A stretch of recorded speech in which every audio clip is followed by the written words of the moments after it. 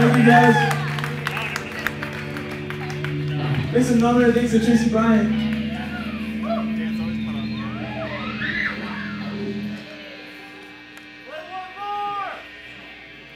We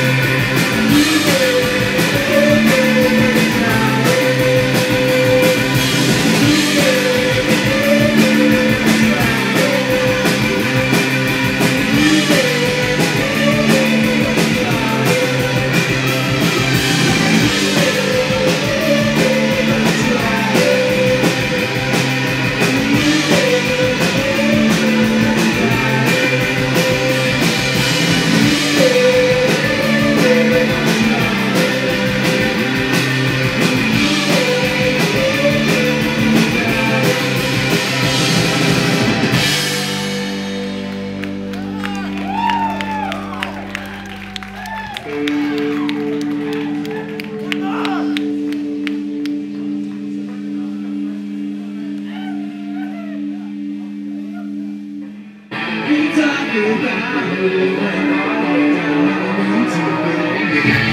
you.